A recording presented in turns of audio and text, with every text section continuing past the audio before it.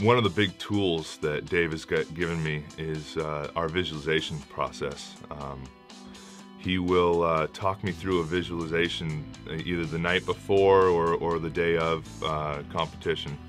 And um, it takes me to, it takes me out on the mound. It takes me into performance time even before I've been there. So when I get out there, uh, I've already, you know, I've already been there. I already feel comfortable and uh, I feel confident because I, have seen this before. I've seen myself get this hitter out before, even though I've never even faced him.